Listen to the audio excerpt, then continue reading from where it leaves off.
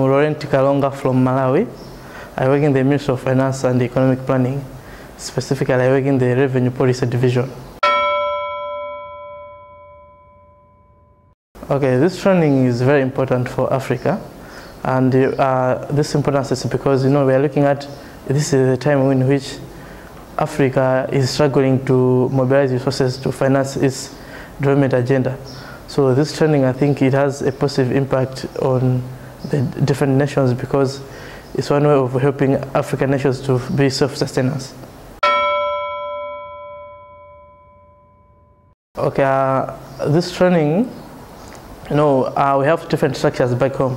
So uh, first thing is I, I will present, I'll share with my colleagues what I've learned here.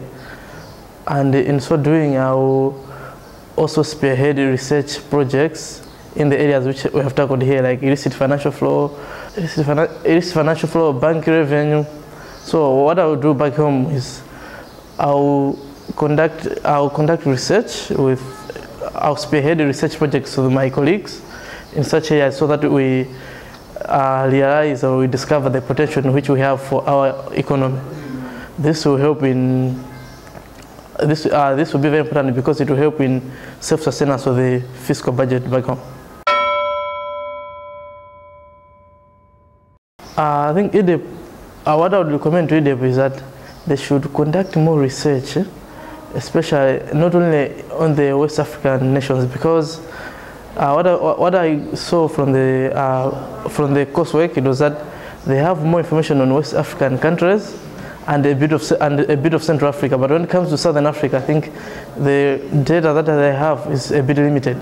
Uh, on that same note, I think the other the other thing is that IDEP should conduct more research. They should not rely on research by World Bank, IMF, because these people, they have their own agendas.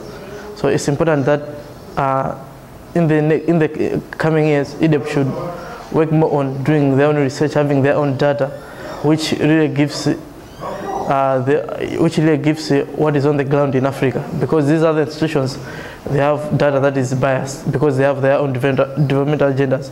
But now that its development agenda is to improve the economic environment for Africa, it should also strive to have its own data, do more research.